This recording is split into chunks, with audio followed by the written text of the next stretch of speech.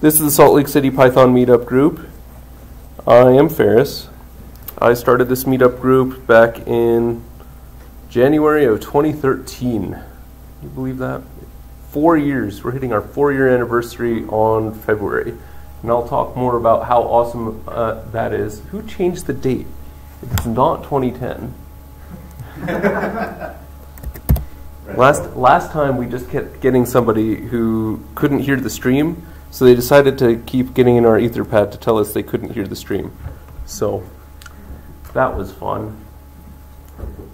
Uh, this is Salt Lake City Python. We started here in Sugar House uh, 2013. I was sitting in a cafe and I was like, hey, that person's using Django. Hey, why isn't there a Python user group? Hey, there is, but you have to drive south at 6 o'clock on I 15 in order to do that. Who likes doing that? Nobody. So we started one downtown. Um, and we were in Sugar House, now we're at the U. I like this venue a lot. Thanks again. Um, well, again, slash in general. Um, there are a lot of little groups though. Uh, we have Python Utah, it's like this whole thing where we give each other funding and raffle prizes. So we have Salt Lake City Python. For those of you in Logan, of which there's just one, we have Python Utah North. We have the Salt Lake City PyLadies. Pi Ladies Foundation is awesome. They also have uh, a few meetups going on. Um, that's Carrie Joy who runs that. Anybody part of that? No? Um, we also have Python at the Point, which is the South Valley group. Anybody from the South or from that group? Yeah? Awesome. So yeah, that's the Python at the Point. That's also the Provo group now, de facto. Uh, we have the Salt Lake City Girl Develop It. Anybody familiar with Girl Develop It? They're another awesome organization. If you want to ever just volunteer there, you can teach a workshop. They can pay you, and then you can keep the money or just donate it back. That's what I did. I taught a fun workshop on Django. But yeah, those are those are just some of the many many tech community things going on in the valley. We have a website that doesn't work. It's slcpi.com. I lost the server. This has been a running joke, but I really do need to fix this somehow. I don't know. Probably just switch it over to JavaScript and not tell anybody, just like I did with utahpython.org, which is all in JavaScript now. That way we pay zero hosting costs. Um, although I am talking to XMission about getting our stuff hosted, so maybe we'll just do that because they are also one of our sponsors. Yo. Talk to me after I'll um, make an intro to you. Sweet. Which which uh, service? Uh, Oh yeah, I I spoke to Pete. Um, I already know Pete Ashdown and uh, Matt, and Matt isn't here today, which is kind of fun. Is he? No. Okay. And Emily, right? Yeah. I know X Mission peeps. but yeah, we'll talk definitely. Um, where was I? Oh yeah, so here's the GitHub repos. If you decide that you want to make a pull request for your local friendly Python meetup, then I will never ask you for a donation for two months at least. Um, I'm just kidding. Uh, our sponsors include Pythonistas like you. Again, at the end of this, feel free to make a $5 optional donation. That goes towards the pizza, that goes towards raffle prizes, um, that goes toward stuff like getting our capture card barely set up. Um, and it's a slush fund in the event that we don't have a venue like this, which is free. We could use it to purchase a venue every month, which would work as well. Um, so, for example, while we were in between en- venues, Impact Hub came up as a venue to use, which would be great. Um, their parking is even worse than here. Uh, and they would have charged, I think it was $200, but I got an in with them and it would have been much less. But still, that's, that's our emergency fund for things like that. Um, not to jinx it, knock on wood. I like this venue a lot. Um, sponsors X Mission.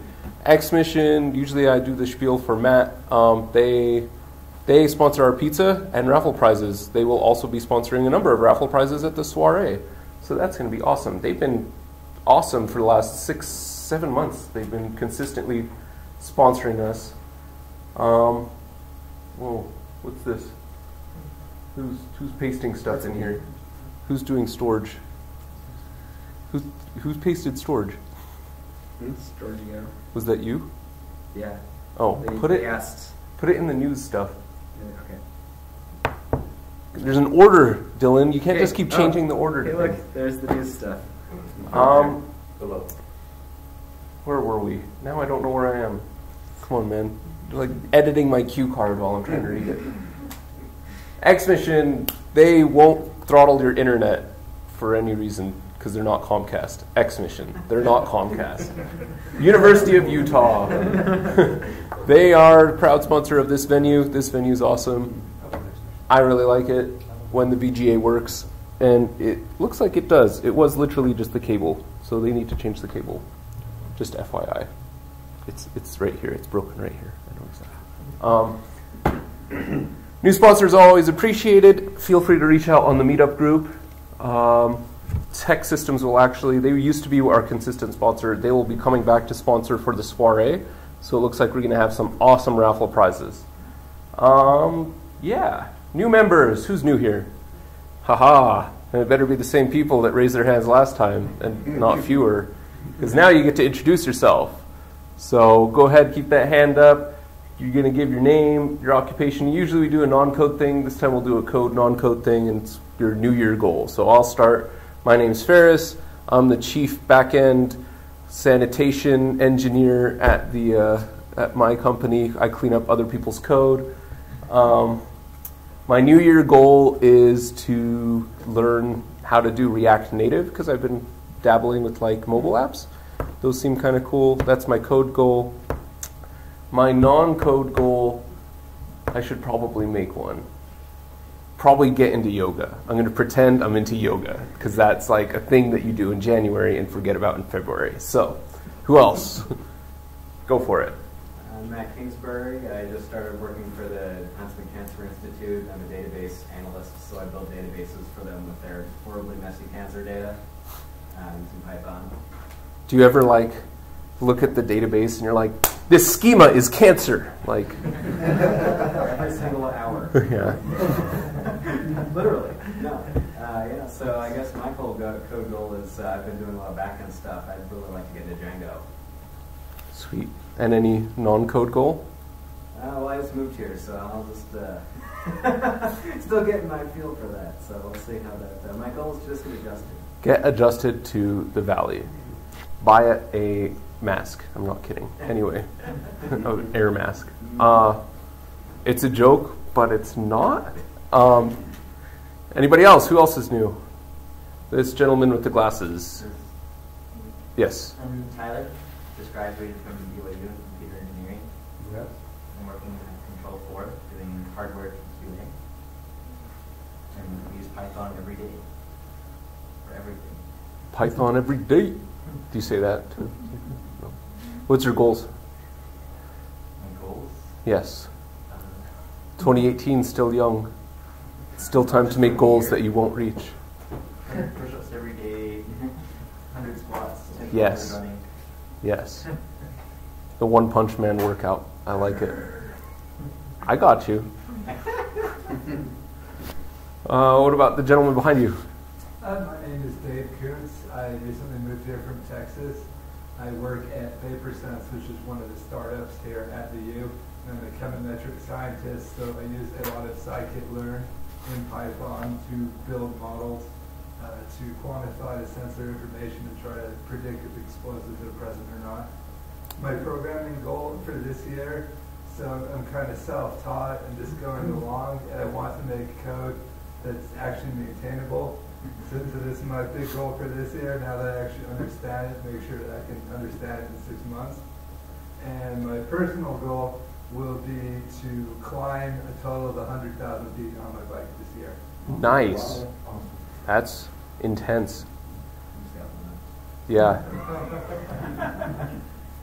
As a person who's constantly cleaning unmaintainable code, I thank you for your goal. Who else is new?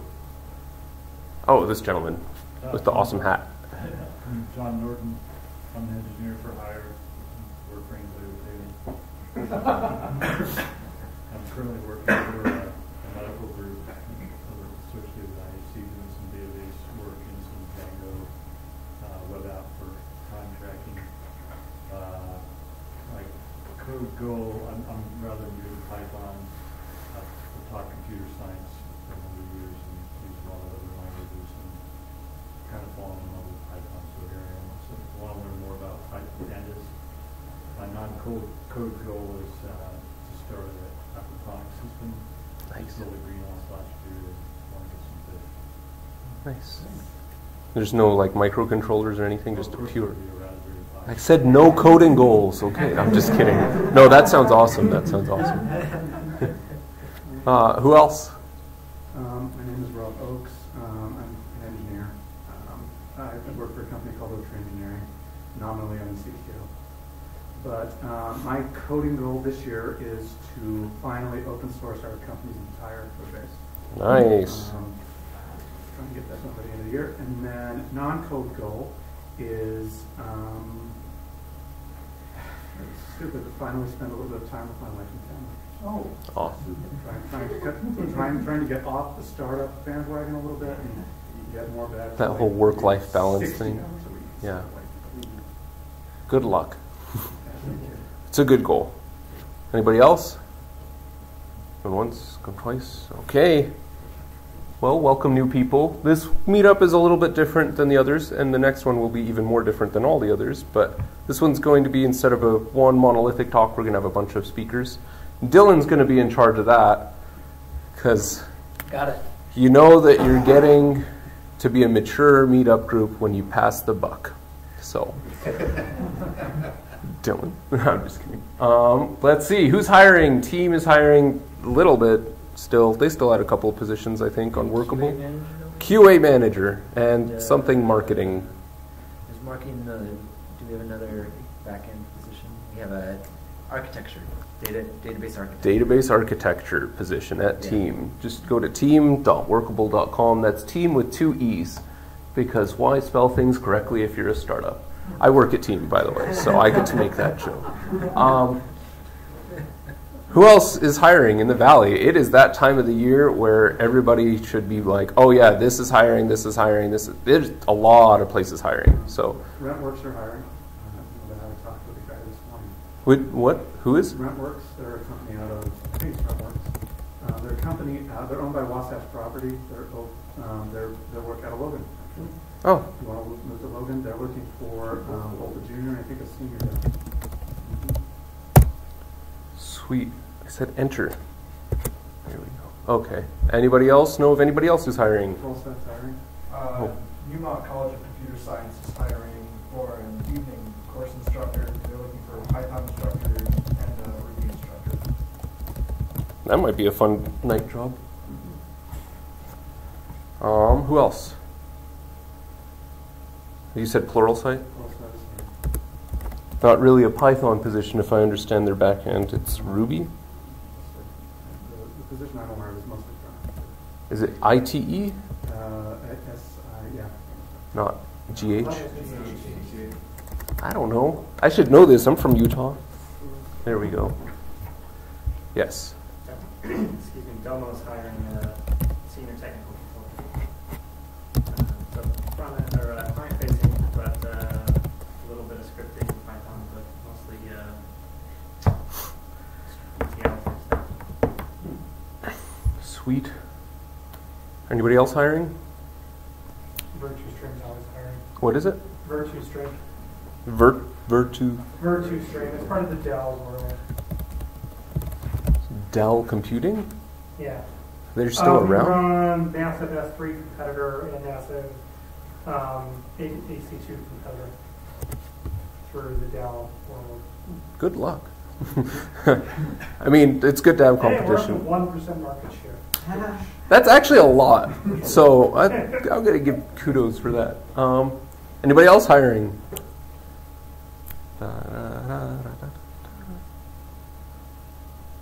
No? Any MLMs hiring? I'm just kidding. Do not work for an MLM. I know it's Utah, but we don't go that way. Who's looking for a gig? That guy. Louis Shabib. Okay. Just paste it. You always do it. Okay, just paste it. that guy's my dad, just FYI, if you're new here, if you can't tell. Anyway, Go for it. Uh, yeah, for data science. Data extraordinaire. I'm going to misspell that. Yep. Extraordinary. There we go. Anybody else looking? Tim, you're looking? Eh, and kind of not looking. That's why I still don't have a job.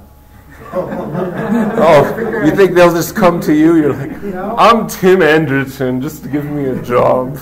No, that, No? though that would be nice. but I'm just, I'm just, I'm just lazy enough and have just enough savings that I just sit on my butt. Lazy data scientist. Well, yeah, it's true. Does that work? Or do you want to put? Sure, no, that's good. Okay, good. Ex, ex- you can just take the extraordinaire and put an Extraordinarily lazy? lazy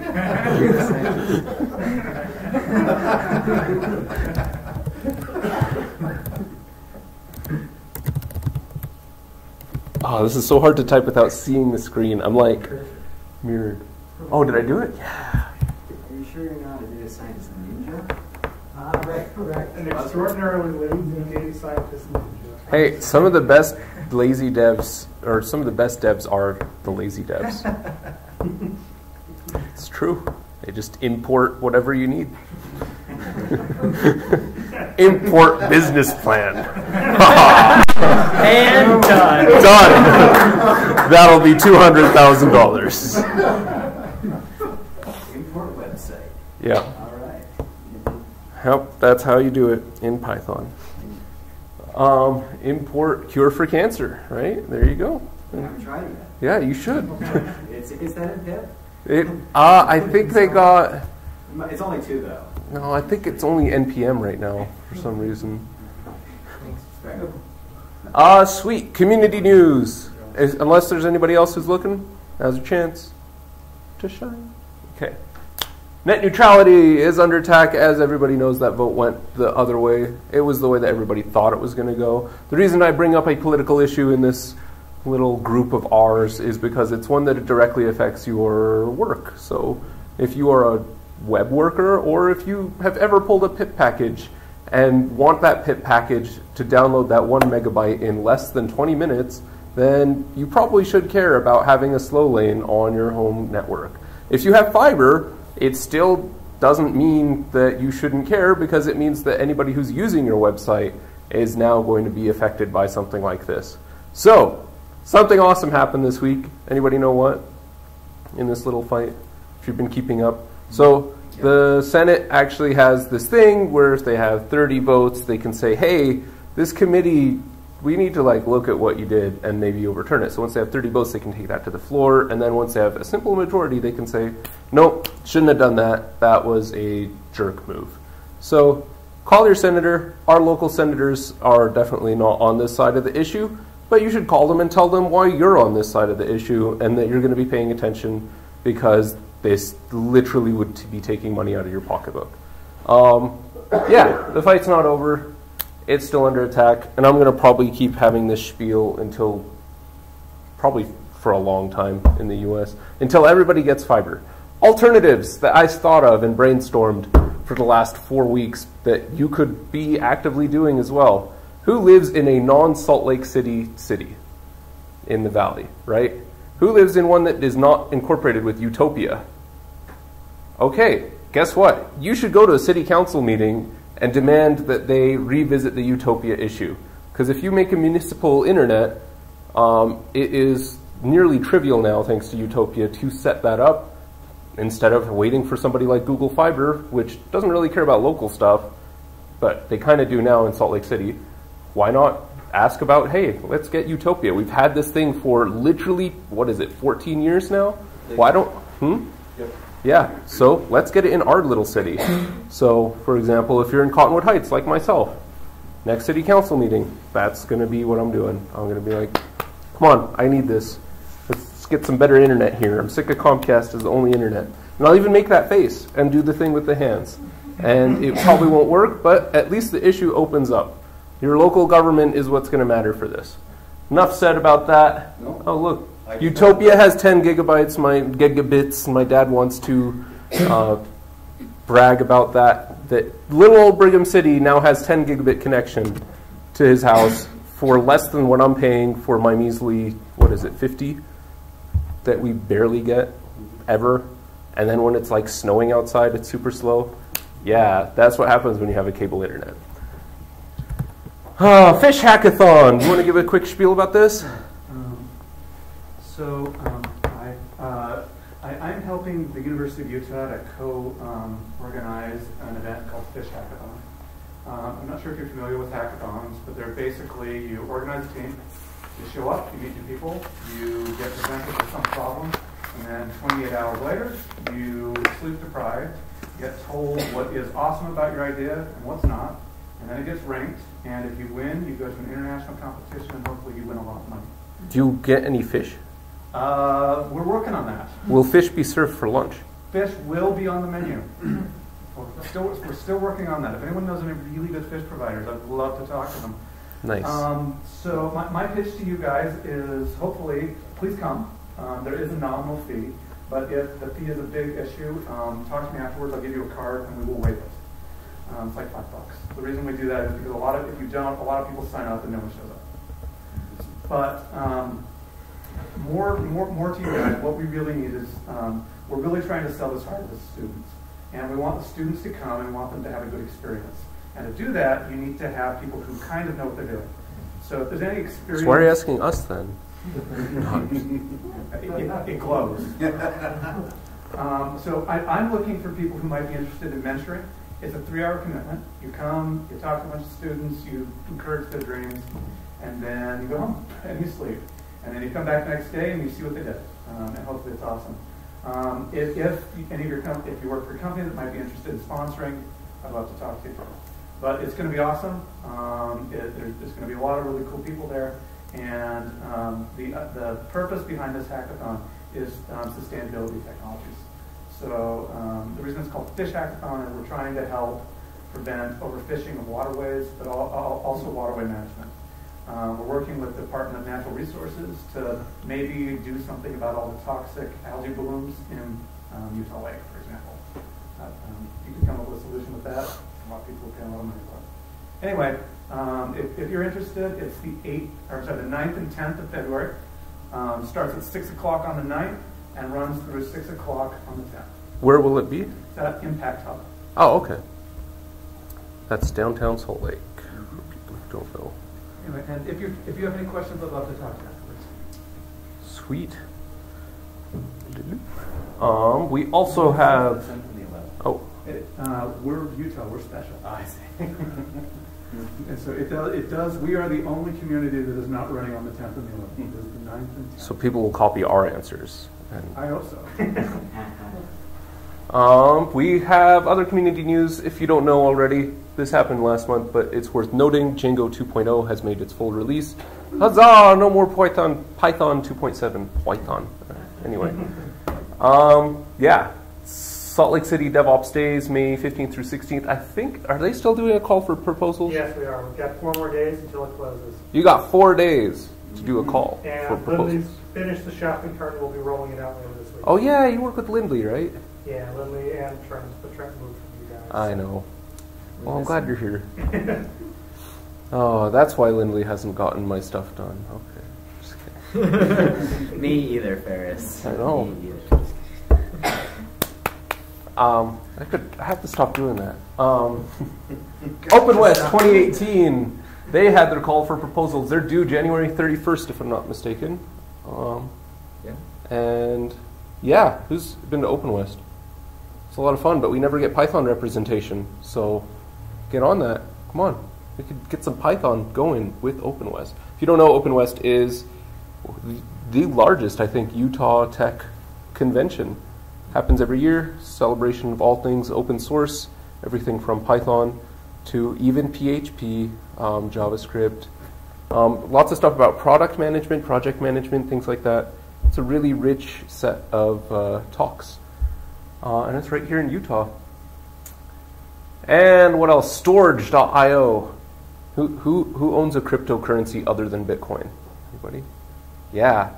nerds. Now, Storj is a pretty interesting cryptocurrency. Who knows what it is? Anybody?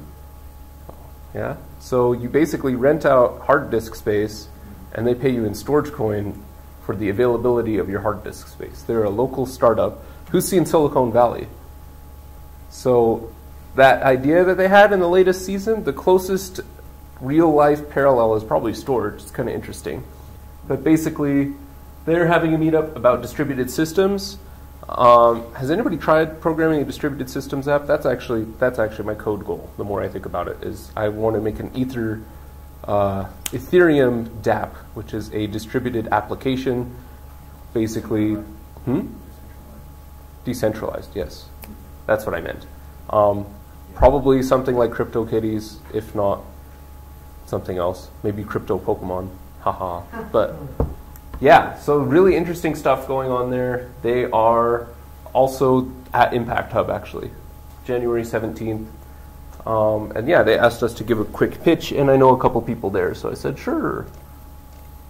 Um, yes, and the most important upcoming community event to put in your calendar, if you have not done so already, is our annual soiree. February 7th, we will be meeting again at Mellow Mushroom because it is family friendly and it serves beer, and there's not many places in Utah that does that. Um, they are great. uh, that that event consists of cake and Raspberry Pis, and only one of those is an actual dessert. So there's going to be a lot of giveaways. Um, that's also our fundraising event. The money that you pitch in for this, this one is, you know, you have to pay for it, but all that money does get used throughout the year to buy things, to put into the slush fund, to do all that fun stuff. Um, parking will be downstairs. There's more details at the meetup. A couple things to note is that you do need to sign up on uh, Eventbrite if you can, um, or at least RSVP on the meetup. If you show up and you don't have an Eventbrite pass, that's fine. I'll just charge you at the door. Um, and then if you want beer, that is a higher tier ticket. That way, people who are not drinking are not subsidizing the people who are, because you know that's only fair in my humble opinion.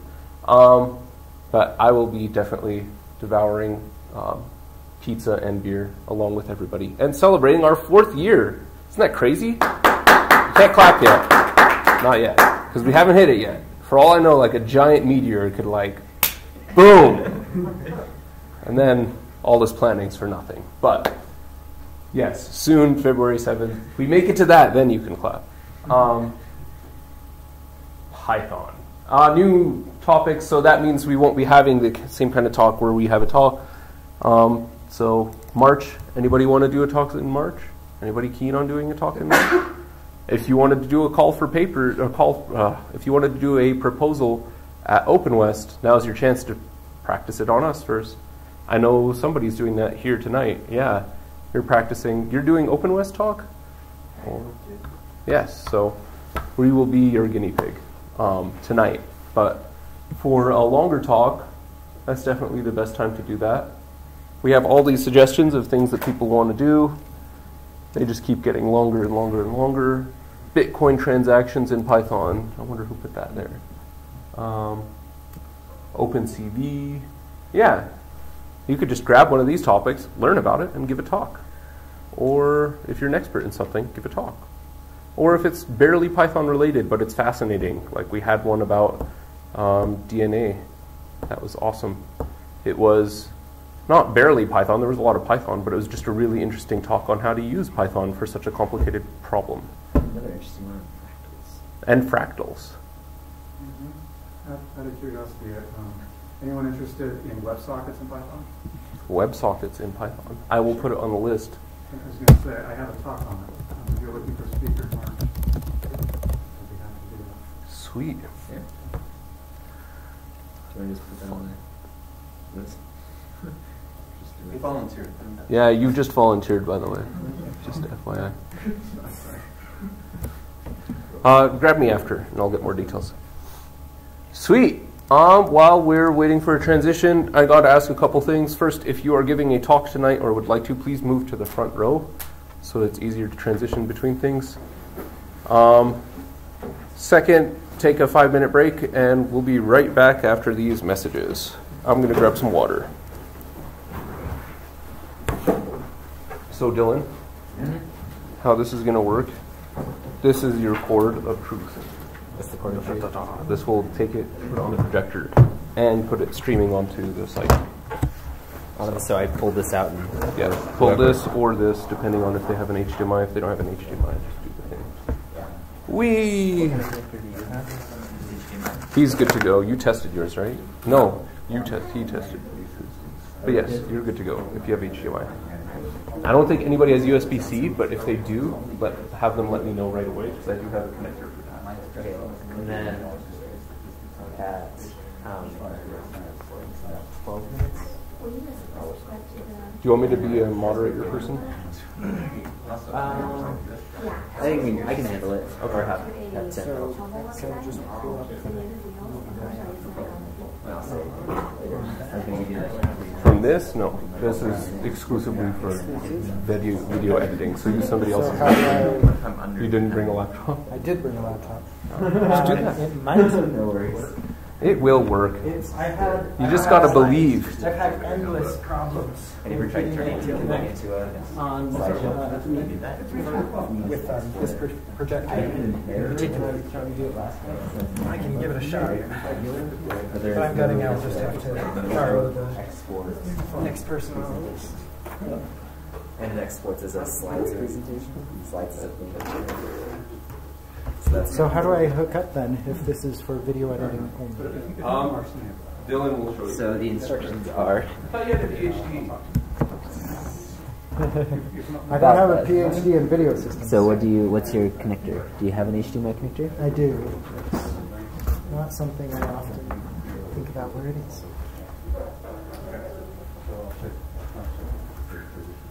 Yeah, um, I, I, I had a, I had a friend who hired on there. and, um, He he was saying, people, running Python developers. Uh, So, so you gotta time me and tell me, Okay, I was gonna give you a three Oh, minute, is it on one Well, minute, so and it- then stand up. and it's 15 minutes. Yeah. Yeah, right? Yeah. Okay. Do you have 15 slides, Tim? I don't have slides. You have no I slides. don't have Am slides. I the only one who made slides? I, I was just like, I, I was like, why not? User, customer, and. Oh, you have to have been taking notes already. For what? Yeah, Slides. just, You have it to, you have to have the, the mark it up and all that. You have to, well, I think all you really actually have to do is turn on the, oh, you're over that. Okay. Do you know which division it is?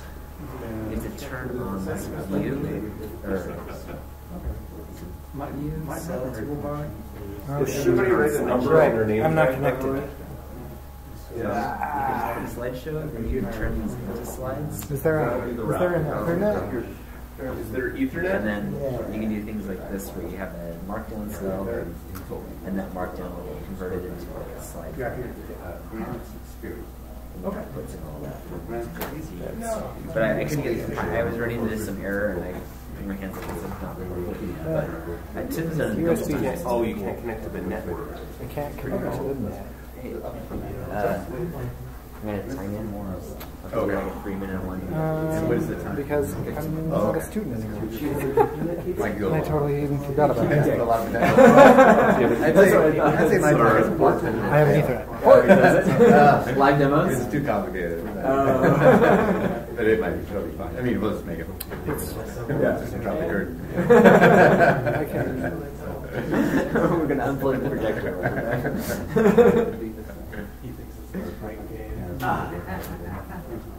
Yeah. No. And you have a. Do you have a Mac HDMI? Yeah, I have H- I Okay, have I'll it. give it a on the Mac. Is that a crossover? Wow, So you guys moving that's Was that work? cool. I didn't bring everything. I'm sure, I'm sure it is fine. Did you, you just, you can't get on the net you need to go to like the. What is your buddy Dan doing? Oh, no. I haven't talked to him in Oh, really? years. Did he go to grad school? though? He did. He was kind of like. He was doing a PhD in astronomy. Oh, really? Yeah. Um, Huh? it doesn't seem to No, be. Dan Phillips. Yeah. Is who you're talking about? No, here. Oh, oh, sorry. What did you say? He was doing astronomy. Oh, astronomy. He said astronomy, and I was like, Geneva is like right next to Okay. Chamonix. Yeah. No, no. He, he did astronomy. He was doing astronomy here, and he There we went for the first. He took like a, a year break, two year break. Oh, really? Okay. Yeah. But Because if you go to HTTPS, your browser can just Oh, record it. I haven't actually talked Because it knows that it's been there before. He always seemed like the mega I just psych. go to example.com. To do it, yeah. It Yeah. never has HTTPS. Yeah. Yep. So I, um, I, I, I wonder if Max Mission is the right group to. Right, um, from what I understand, um, um, Mission's not Um, and I, Actually, there was some trail. um, they, they, the cloud services are all deployed, um, provides pretty healthy market. Joey, did you hear about why everything's going bad at Teamwork? All the data stuff? We should gossip later. It's not like bad, bad, just tech bad. That we can't like associate meeting services to events. Oh, yeah, I talked to I talked to uh, Eric, Eric about that. did he show you the cool stuff that he came up with? Uh-uh. He wrote like a lambda function that basically is this SMTP incoming server thing, Uh-huh. and then it like does processes with it. Okay. I we we sort of solved it for um a We while solved nothing. for Microsoft. Their little poke in their hole thing. Well, so there's like you can add extended properties to an event. So you can add any key value. It's essentially an uh, open JSON store onto the event. And I don't know if you can do it for Google, but I know that if you remember Dustin, he was around for a bit. yeah, He got it working on Microsoft. did that work. I did that work. Did you do that? That was my authentication scheme that I wrote for them using JavaScript web tokens. But that's not the issue we're running into. No, no, no, and that wasn't the thing that he They did something else. He did something else. When, when, when he was editing, when he was editing the event, I asked him if he could modify the. It's called extended properties in the event. way back, before that wasn't, they, they were. You needed a talk. Yeah. I'll DAX is read on this. We did that. I, I mean, you, you talk about people, and after a couple it's not clear enough. They're, they're, they're the manager of operations. campaign. Should we call everybody back in? Yes, please. Oh, come on. And the camera stopped working.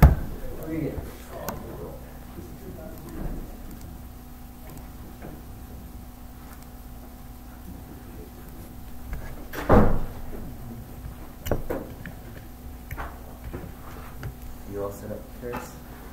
The camera stopped working for some reason. But other than that, we should be good to go. Okay.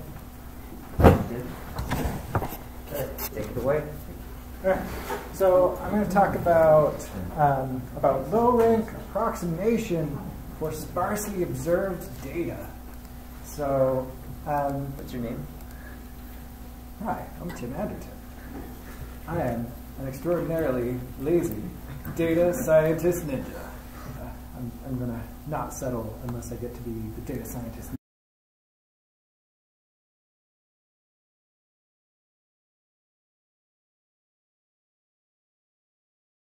So a perfectly good way to do that is, um, is principal component analysis. And that is basically you want to solve that problem that x is approximately equal to uh, tall, skinny w times a um, short, wide h. Um, you want to solve that in the least square sense, and you get you happen to get principal component analysis.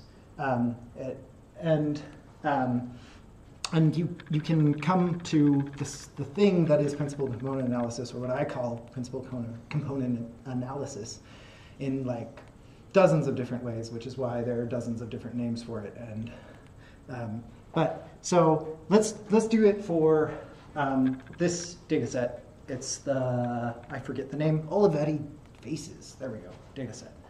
So it's 400 faces of um, just grayscale images. So this is just a color map. Um, it's not flesh tone. Um, but um, but it's you know 64 by 64, so it's 4096 pixels. But there's only 400 images, right? But there's still a lot of, um, of, of sort of commonality in the structure of all of those faces. I don't want to keep around 4096 columns for um, you know to, to encode my data.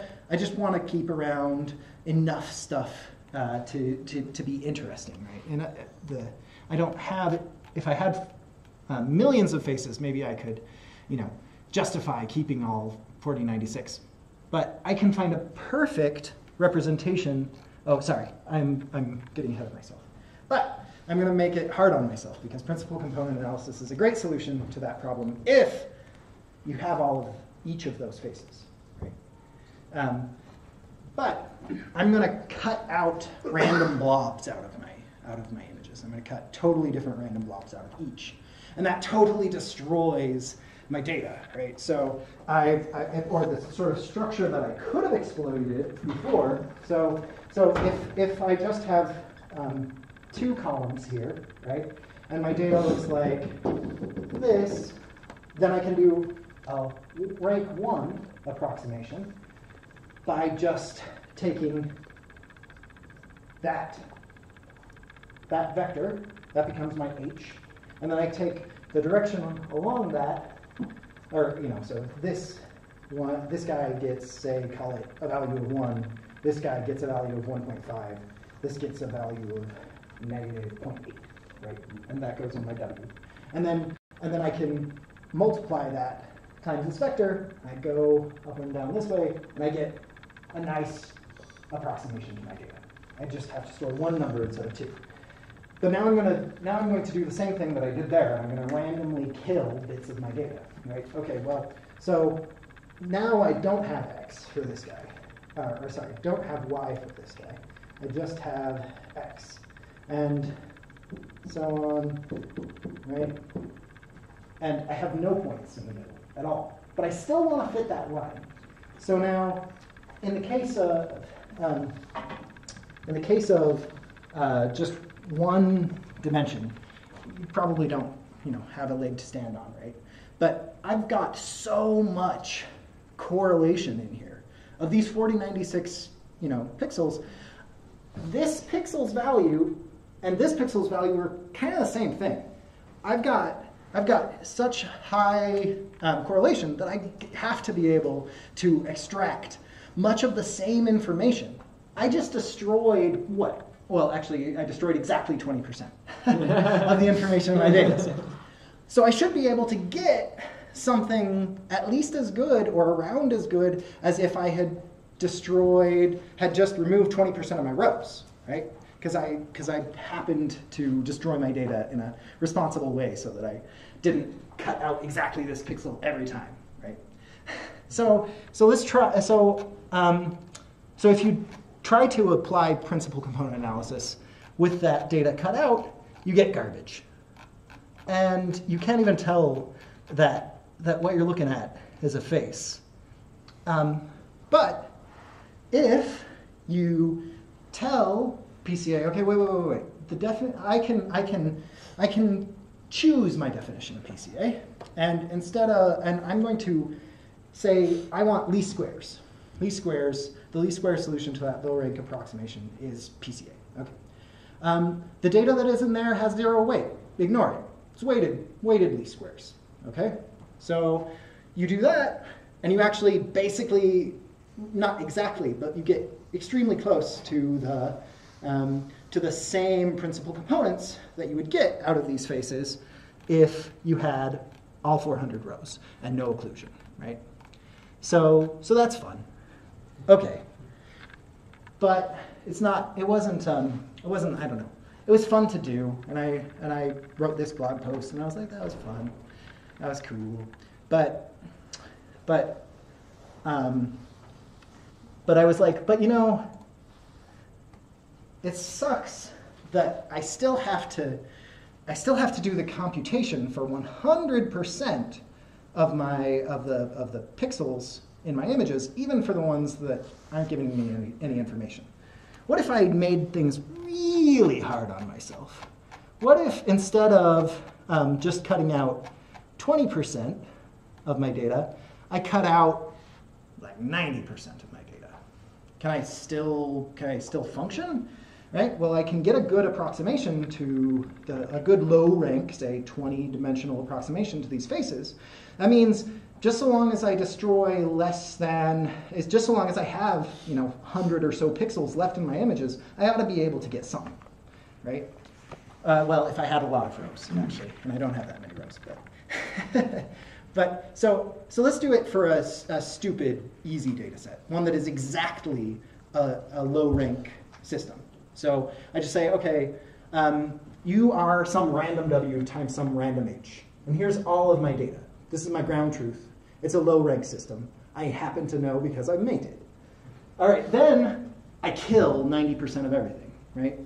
And it doesn't look the same anymore, but it was extremely redundant to begin with. So what happens if I do regular PCA that doesn't know that those zeros aren't real?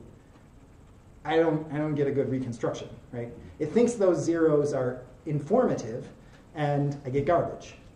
Okay, if I do, if I do um, sort of a, a weighting, um, then I can get sort of exactly the right thing. So now, why is this different than what I was just talking about before? Um, so um, it's because this time I didn't do the full calculation. So I'm gonna, uh, did I skip it?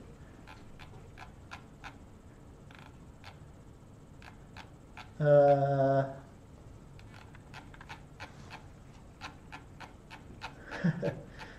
how many minutes do I have so that I know whether or not to waste time on this? Oh, right. Oh, okay. Huh? Five. Five minutes? So I've talked for 10? Okay. I'm, I'm just going to talk my way through it, okay?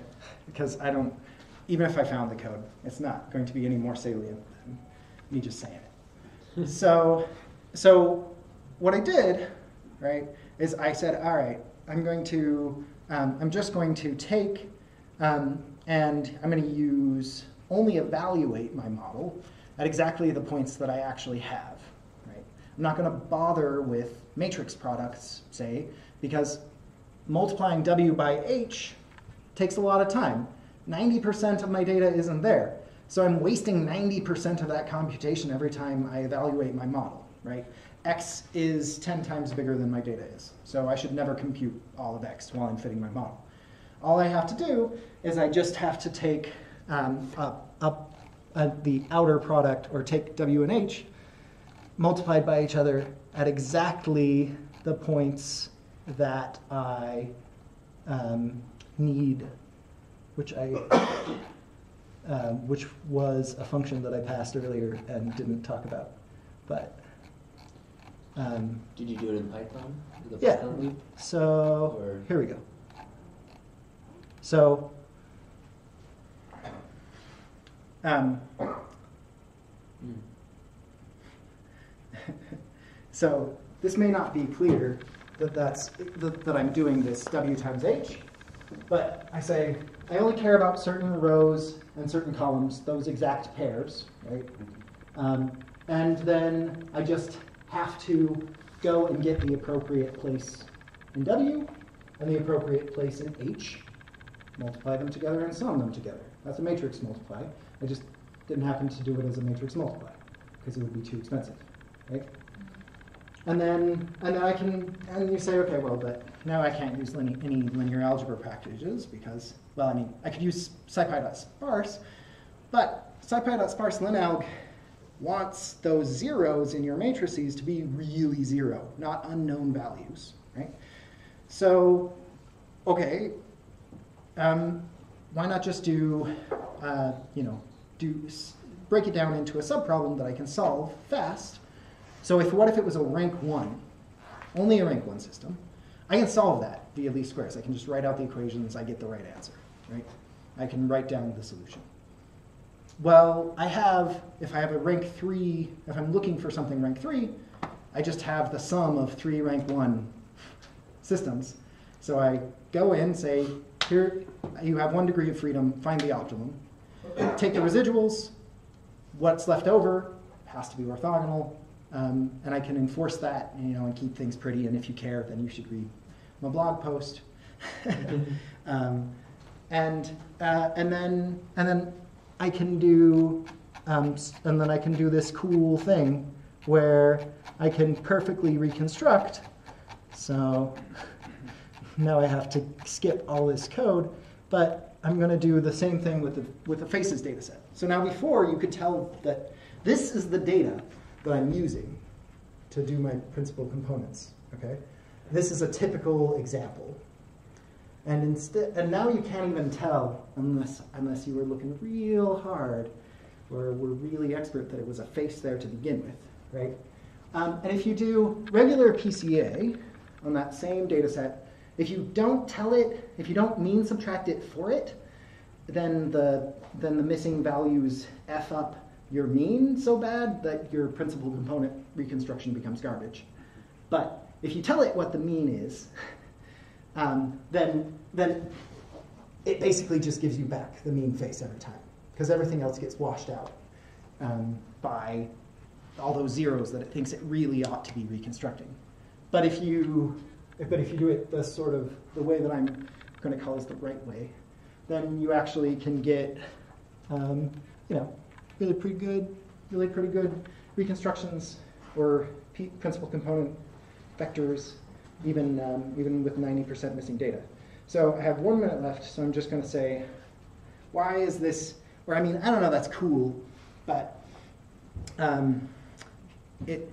But there's tons of other stuff that you can do with this. So um, you can do data imputation, say, um, which I'm not sure is the right way to go about things. It's usually would be better to destroy information um, in the same way that you have missing information in your data, systematically destroy that data and train a system on destroy on partially destroyed data than it would be to to do data imputation usually. Or okay, I don't have enough time, so I'm just going to stop saying. Or, thank you very much. Quick question for you? yeah. Okay, uh, you're saying destroy the, destroying the data down to about ten percent? Uh, yeah. Did I? I'm, this might be twenty percent Okay, kept. even so, um, and you were talking about training, wouldn't it make more sense to train your algorithm based on uh, random instruction in, of different elements in the same image, and then putting it back together? Uh, I mean, Are you following me, or am I not phrasing it correctly? well, there was something I badly wanted to say that is along those lines. Okay. So I'm going to say that thing. Um, so something that I'm that's near and dear to my heart, but rarely is the right thing to do, um, is spectral clustering. Um, and so in spectral clustering, you need to build a similarity matrix of all your points to all your other points. And if you have thousand points, that's doable, and you can do manipulations on that matrix. If you have 100 million points, say, and you want to deal with a million by million or 100 million by 100 million similarity matrix, even if most things aren't similar to each other, you're totally doomed, right? um, well, not totally doomed, but you can't do it the regular dense way, right? You just cannot.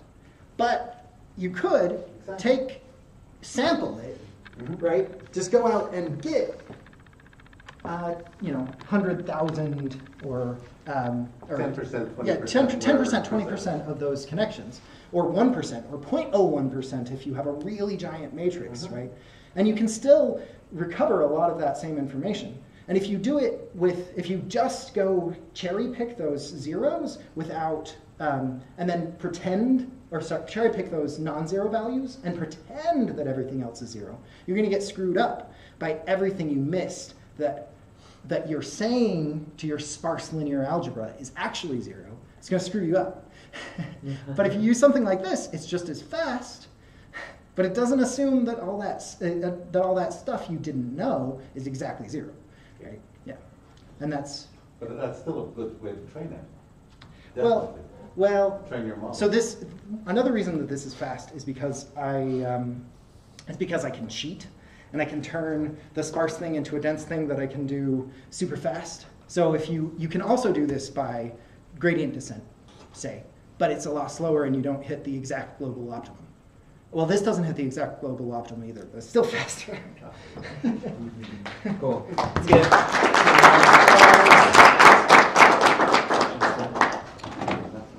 Who's up next? Up next, we have Tyler Johnson. So that's me. This guy. Uh, That's the right, close up right there. That one. You.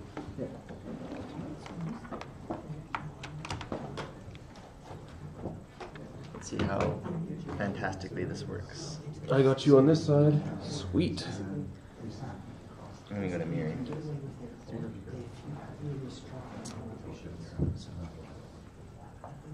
Oh, nope, oh, still got you on this side and that side. Perfect. We're good. Awesome. So that is some, So some nice links. Okay. Carried away. So, hello again. My name is Tyler. I mentioned. I'm working at Control4, and this is something that I do every day, and so it was, I thought I'd make a, an interesting talk. If you've if you're very new to pandas or matplotlib or data analytics and Python, then this will be really useful. If uh, for you, Tim, it's probably old news, all this kind of stuff.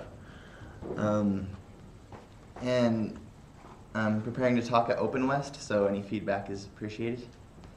And I'm an organi- organizer at OpenWest, so if you want to get involved in doing stuff there, then I'm also one to talk to. You. So pandas stand or is derived from panel data, and what you can do with pandas is you can take a CSV file that is gigabytes long and crunch the numbers and get useful data out of it. So pandas is very useful. Um, what I use it for at work in uh, in PQA is we'll have like a thousand controllers out, or not a thousand, a lot more than that, like a hundred thousand servers out in the field, and we want to see if a new hard drive that we put into the chips is if it's working better or worse than previous hard drive. And so we'll pull all these servers and we'll get tons and tons of data back from them. And with pandas, I can take all of that data from the servers and I can see the disk read speeds, write speeds, uh, uptime of the server, and then I can filter by all that data. I can say I want it to be this specific OS, I want the uptime to be greater than a month, and I can see, I can visualize the data in a way that's useful for the company to make decisions like should we buy a cheaper, or is this cheaper hard drive better than a more expensive hard drive? So it's this really helps us visualize data in a useful way. So you can follow along in a shell or any in Python shell. Um, when you're looking at Matplotlib, Pandas, NumPy on the online, they'll always import NumPy as NP and Pandas as PD. I don't know why that started being the thing, but that's how it is. So a structure that's fundamental in pandas is this data frame. And you can think of a data frame as um, a table, like you would see in SQL or something like that. Where I have, I've organized it right here where we have rows and columns. And if I run this, look at our data frame. Uh, just created a comment on an empty line. There we go. So this is how Pandas has interpreted the data frame I just made. We have our indices from 0 to 2 and all of the same data that I put into uh, my arrays up above. And with pandas, you can do all kinds of operations. Like right here, I'm dividing it, the whole frame by itself. So I end up with a bunch of 1.0s in my table. And if I get rid of that, um,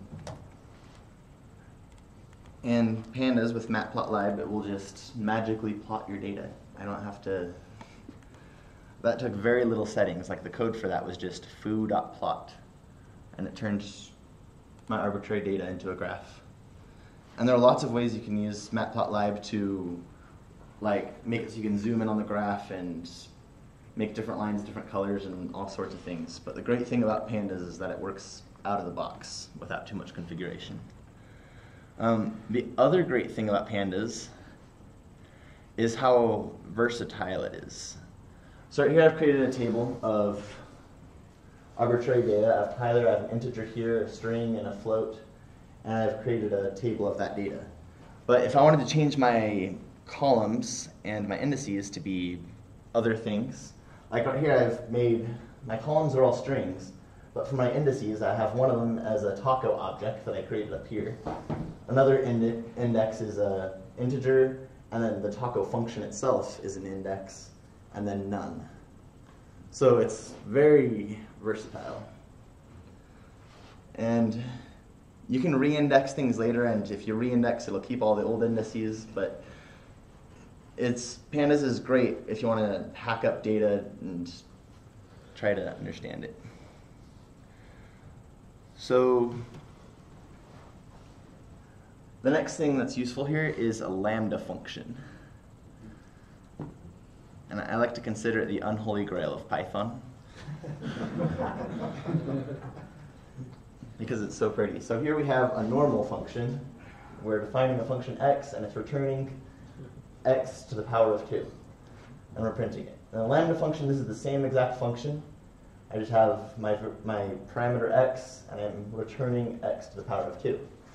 The reason why you would write, want to write a function in that way um, is, say, if you, have, if you want to multiply every cell in your frame by, if you want to take every cell in your frame to the power of 2, you don't want to write a function that just does it to the power, just uh, takes a number and puts it to the power of 2. It's just kind of wasted space. So you just write a lambda function that says, okay, I want to, or like this one down here, it takes every cell in the frame, every cell yeah, in the data frame, and turns it into a string and then makes it uppercase. So that's what you'd use the lambda function for in this case. Um, some other things you can do with these lambda functions. Um, you can select based on data. So what I've done right here is I've said I want to take the bar data frame where the column name, well you can use an index or a column here, so you don't want to overlap your column and index names, that would be terrible. But I'm grabbing a NumPy series that um, will be my student column only where the name equals Tyler. And so I've selected that row of data from my data frame. And something that is possible to do in pandas, but you should never do, is to operate um, in place on a data frame. Every single operation you do in pandas returns in a completely new data frame. You never want to operate on data in place. That's just bad. You'll end up all kinds of problems. Why? So, yeah, and you, you're, you're advocating for never using the, say, in place It's like function? um, you don't want to you don't want to delete elements from a for loop that you're currently iterating over. But, I mean, like, I mean, but I do all the time, like, um, Sort place. yeah, just like this dot sort in place. equals- Yeah, Okay. and for simple things like that, it it is there. It's possible to do, but I wouldn't like by default always do things in place just because you refuse to make a new object. That would Yeah, I sometimes do operations like those apply operations. You could do in place across a column. Right because you're not chopping off any columns or Right, anything. and and and pandas doesn't work well when you're mutating it. Yeah. And something else I've learned with uh, rows especially. is hard. with pandas is it is not limited by the global interpreter lock because most of the code for pandas is written in C and Python. So pandas can crunch heavy data sets really fast for that. Um, who doesn't know what the global interpreter lock is? I don't. Okay. global interpreter lock. It's what Perl users love to bash Python for. It's um, Python can only have one interpreter process running at a time. So even if you've threaded your code, it's not really threaded because only one process can use the Python interpreter at a time. And Pandas is able to bypass that by using C. The problem with that is if you have an index like, uh, right here I have an index that's a class, and here an index that's an object. That's my object taco that I created. Um, Panda, if you're using multi-threading with pandas, then all of that data just it, it just doesn't work very well. If you're using multi-threading with pandas, you've got to be using strings, integers, and floats, and that's really all that works. And it's unfortunate. Or you have to transfer all your data to strings and then multi-thread analyze it and then turn it back into your objects. So that's a pain. Run into that a couple times. Um, you can also select in pandas based on a, a arbitrary criteria. So here I'm saying I'm taking my foo data frame, my foo which had a bunch of, it was a matrix of numbers. And I can say I want foo and I want the first column to be greater than one. And I'm going to grab uh, that data frame. Um, what did foo look like? Uh, okay. So there's foo. And then here's foo where I've topped off. Oh. Yeah, because this column is not greater than 1, it's equal to 1. And so it chopped off this column, or this row. So you can push a whole bunch of these criteria into a super complex one-liner that'll select your, I want all of my servers that are OS, that's Ubuntu 1604, uptime of greater than a month, and and you have a huge long list of criteria for data that you want. So that's useful. Right here, I've done my uh, I've done my selection on the string inside of the cell contains A. So I've grabbed for my student table everyone that has an A. So that's how that works. Um, and we briefly mentioned it before, we have this lambda function. And what I did here is I have my lambda function takes x and makes and turns it into an uppercase string. So all of my strings are uppercase. I think you can you can use that same dot stir as well to uppercase in particular. Um, you mean like right here? I think so. I think stir stir dot upper if you just you can't use it as a mask then, but if you just take that out. Uh, don't put it inside the brackets. Be its own standalone thing. Um, we're talking like this. Yeah. Yep. There so we go. That would be a similar way, but apply allows you to have the fun. You put anything in apply. Right. Absolutely anything. And here in this last cell, oh no. Oh. Is it because we've chopped things up? Here, we're going to go back up to where we declared bar.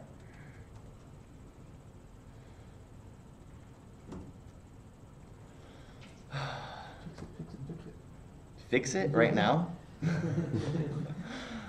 uh, Undo, undo, undo. We can just change that stir. this one? Well, what I meant. Oh, to- flip the in instance. X isinstance No, should be It's. the object and then the type. Is that what it's saying? Oh, yeah. Yep. Ah, thank you. That was a quick one. So, this is a Python's hacky way of doing a ternary operator. What I'm saying is, for I'm going to have my parameter x. So in this case, I'm doing an apply map, which means I'm operating on every single cell in the data frame. And I'm saying if I'm going to turn that, change the value in the cell to the string number if x is an integer. Otherwise, I'm going to turn it into a string and make it lowercase. Uh, so in that case, I've turned all of my grades and my names into lowercase strings. My integers are turned into the word number, and my floats are left alone. That's an example. Yeah? What? You have a minute. Oh, I had a question. Well, do we have any questions then about pandas? If you're gonna add like a requirement to say like getting half-life greater than one or something like that here, would you have to add like another line and then do another object, or would there be a way to add it onto that in the same line, or? You could probably add it into the same line, but I would, to make things easier to read, I would make it into multiple Multi-line, objects. Same line, yeah. Yeah. Yes. Uh, could you digress on um, reading in giant CSV files? Because from my experience, you can only handle something like two gigs, but I guess it might depend on your machine or how you're reading it or something. Uh, I don't know. My computer here has 32 gigs of RAM, and Oh, yeah. so I, I can handle it. Try to use something that's not CSV is Yeah, recommendation. And and if that's all you have, you probably want to try something that would chunk it, so it would read in line by Mhm. line, Yeah. store it out in another file format that's compressed. Yeah. You can use, wondering if you can use h5py. Say what? Uh, It's something that I do a lot for stuff that's just way too big to be sitting as a CSV somewhere. Using what? H5 Pi. Oh, So, that's- so yeah. HD, it's a wrapper for HDF5, which is a, a you know, just a I do. Hierarchical high, or- yeah, it, hierarchical data format, I think. Yeah. And, and so it takes a lot less space, and so I can, I, I can, and it also doesn't have to all be loaded, and I can still do operations, so I can, you can handle much more quickly. stuff like that. Makes sense. I thought that was magic that I'd never heard before. Well, I would stick with uh, chunking the data because if you're going to be hacking it and cutting it up, then take a, the biggest chunk you can, hack it, cut it up, select what you need, and then take the next biggest chunk, and eventually you'll have you'll be stuck with just what you need. Yeah. Right? Cool. That's pandas. Let's thank Tyler again.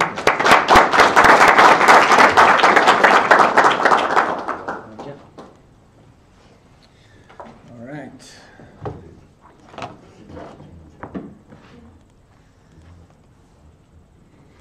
Mark Kunis here. Yeah. Oh yeah. Got you on this side. Okay. If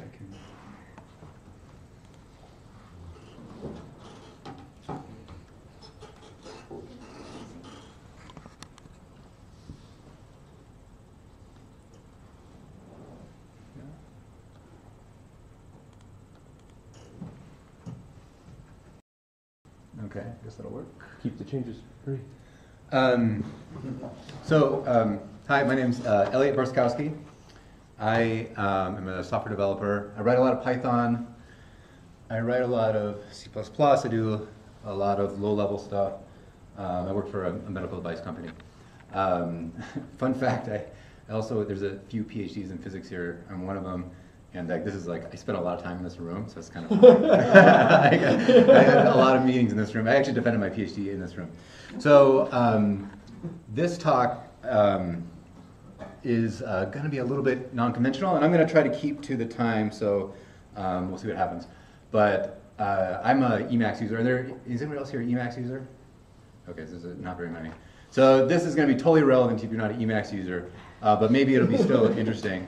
Um, so uh, I recently was doing a project at work, and it kind of had the need for, uh, it was like an analysis project. I don't do a lot of that kind of stuff, but um, it was kind of the perfect time to use uh, Python notebooks. And I kind of a mix through, I, I, I like Python notebooks okay, they kind of annoy me. Um, Emacs has got a plugin that works okay most of the time, but there's uh, another plugin for Emacs called um, OB which is a Babel part plugin, which is a org. So these are all kind of Emacs products, and I'll talk about all of them. Um, and this does a really nice job of, it does a lot of the things that Python notebooks do. And I knew there's a lot of data scientists at this thing, so I didn't. I thought maybe people don't know this product very well. So I'm going to introduce these ideas. Um, org mode itself is an enormous package, so I'm going to skip all this stuff or skim all this stuff. Um, and then I have a little mini analysis, and we'll like I'm going to try to do it like live, sort. of. I have it all written, but uh, we'll do it in this product, um, and you guys can kind of see how it works. Um, try to get not bogged down too much, and then I have a few conclusions, which are just kind of my comparisons to Python notebooks. Um, so the funny thing about this talk is, um, so org mode um, I'm just about to introduce this anyway. But um, what org mode is, it's like a it's like a really crazy, sophisticated markup language. It's like take Markdown and then add navigation and folding of text and tags, LaTeX output. You import, you can embed images, you can see them in lines. So all this stuff is just crazy. And I discovered org mode this summer, and it totally changed my life because I always want to take notes, but the context switching for taking notes is really difficult, and I never end up taking notes. But now I my daily notes. In addition to that, every once in a while I'll make documents, and I'll, I'll usually start them in org, and you know later they end up in Word because nobody else use org. But um, but it's a nice way to kind of like get some of this stuff done. So um, so that's org. Uh, if that thing's interesting, especially if you're Emacs user, look it up. Org is really incredible. Um, and don't like, I I like all the editors. I'm not like a Emacs is what I use. Um, I, there is no org for anything else, which is one good reason to use Emacs, but don't let me uh, seem like I don't think the other stuff is cool as well. So, um, okay, so what's Babel? So inside org, you can actually just run arbitrary code and get the output inside org. So you have a little code block like this. You can say begin source Python, run this thing. Uh, this essentially acts as a function, returns x, and then x evaluates. Um, so um, now let me just, before I get too far along, this entire talk is written with org and with this running document that I have. And um, so there's a bunch of boilerplate. Um, and here's some, I'll, I'll kind of talk about this a little bit later. But here just for some of the things, this startup thing here, it's called a drawer. So you can like slip it away, open it. Um, these headings all fold. Um, you might have noticed I didn't have a heading in my document called startup because I had this no export tag on the side. So, um, so this, I'm going to talk a little bit about this later, but I had I pulled all this data and I, I got the data for this project like off the internet. I cut and pasted out of an HTML table. So it didn't work. so I had this obnoxious sed script, but I actually run it inside this document. So anyway, it's kind of cool. So now let's just go down to where we're actually doing these talks. We're actually doing the talk that I'm talking about. Um, okay, so here's Babel, and here's just that, you know, here basically is that, uh, that this is the code that generated the same thing as this. So um, anyway, so that's kind of the idea. Um, okay, so now what's, what's IPython? Will be IPython. That's the subject of this talk. Um, it's essentially the Babel part which talks to Jupyter kernel. So now you can have a running Jupyter kernel that works with remote kernels. You can do the inline plotting, the whole, you know, the magics work. Um, it really, it, it, really dovetails nicely with org and Babel and all this stuff. So, um, okay, so that's all I'm going to talk about about org. Like I said, org is enormous. You could have a whole like two-hour talk just about org. I've actually watched two-hour talks. But, um, so now I'm going to show you how cool it is by doing an analysis. And, um, and, and like I said, each of these slides is generated with LaTeX. So it's actually like, I'm not advocating for this as a way to make talks because I think it looks kind of ugly, but it is cool that you can like kind of write code and um, generate documentation at the same time. So um, what's the idea? Um, the premise of this analysis I'm going to do this is a total toy, so don't like take this serious at all. But everybody loves uh, um, Bitcoin, and everybody loves Kalman filters. So I came up with like some Bitcoin Kalman filter analysis. Um, if you're not like a kind of stock geek, um, and I'm not a very good one, but there's a there's a uh, security called GBTC, which is essentially it's a Bitcoin trust. So they hold Bitcoin. Uh, one share is worth like a tenth of a Bitcoin, not exactly, but approximately. Um, and so it, of course it it, it's proportional, its value is proportional to Bitcoin, but it's its own share, it's its own security. So it can, you can, it has different liquidity properties, so you can get into it and out of it perhaps easier. It's only traded on the weekdays. So its price doesn't not, it's not exactly one tenth. So this, this plot here is uh, GBTC, uh, oh, whoops, that's wrong. GBTC times 10 and Bitcoin. And, um, and you can see there's these kind of, there's these dips. Now you would expect a trust to trade a little bit more expensive than the actual product itself because there's some, they actually own computers that have the Bitcoin and all that stuff. So there's some overhead. But obviously that's not like constant. So there's, there's some stuff going on here. And um, what I think what happens with this security is that it's, it's, it tends to be more volatile. It almost trades like at a beta to uh, Bitcoin in that you can get out of it fast. Um, so I think it tends to kind of ride harder. But you could, you could might think to yourself, well, when, when uh, GBTC drops low, that works. So um, maybe let's let's like find this code block and like kind of just run it to see how this works. Um, so here's this figure, here's the code that produces it. Um, like I said, I, these are all Panda data frames as well. I do the, all the stuff that happens, it just happens a little higher, paying attention to the code. BTC is the Bitcoin. Uh, at this point, they're actually just Panda series. Um, and then GBTC is going to be the, uh, um, the, the other security. So uh, if I, you know, Emacs is all magic keystroke, so Control C, Control C executes this, um, and then I just regenerated the figure. Of course, I've already generated everything just like one minute ago, so I don't have to be too live. But uh, anyway, so, so but it's really nice. So you can, you know, so if I'm doing a project work, I'll oftentimes have, you know, text about here's a figure, here's some analysis to do, and then I'll write a little code in a block like this, execute it, and I'll kind of have running notes. So um, you can also just embed figures. You don't have to actually generate the code or anything like that. But, uh, okay, so let's go down more. Um, the next slide. Um, so let's try to fit this with uh, least squares. That's the most obvious. Um, all this uh, results of a fit, I just print them out into my notes. Um, none of this I export. I just export this slide here with the figure. So has this weird background. Okay, now it's fixed. Okay, so here's here's this. So um, so of course it's linear. I mean, the whole idea of this securities is linear. But this isn't something we can trade on. It seems to stays really high, then it goes low. I mean, we're getting the average, but what we really want are these kind of more subtle uh, aspects. So um, so what can we do? Um, well, we can apply a Kalman filter. Um, I didn't come up with this. At the back into this talk I have where I essentially stole this analysis, they use it for a pairwise trading. Like it, it's like a essentially you have two stocks that um, move together. You when they when they tend to fluctuate together, with one fluctuates away from the other, then you expect them to regress back to the mean. So you try you buy.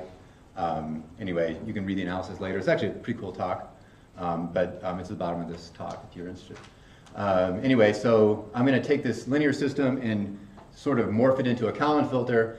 The, the fit parameters in, so this is y equals mx plus b, m and b are become the Kalman state. Now I get one of those per time slice. Um, this matrix, this becomes, this is our A matrix, so there's a relationship there. So this would be like the uh, transition statement of the Kalman filter, and this would be the observation statement. Um, and so here I just multiply, and so here it's obviously just the mx plus b. Um, so z, the observation in this case, is our uh, GBTC. So out of this, it's kind of a weird way to use a Kalman filter. Um, so our filter, we're going to filter essentially M and B. Um, now, so I have the, these noise parameters are actually really important. In this case, um, I just picked some constants. Actually, it's even worse than that. I tuned the constants to get enough noise, the sort of right amount of noise, so I could trade on it. Um, it, you'll see later that it doesn't even really work that well, but um, it's kind of for fun. We could do you, one could do better. Um, so uh, okay, so so here's um, just one more statement about this. I've already explained it. Um, okay, so we run the Kalman filter.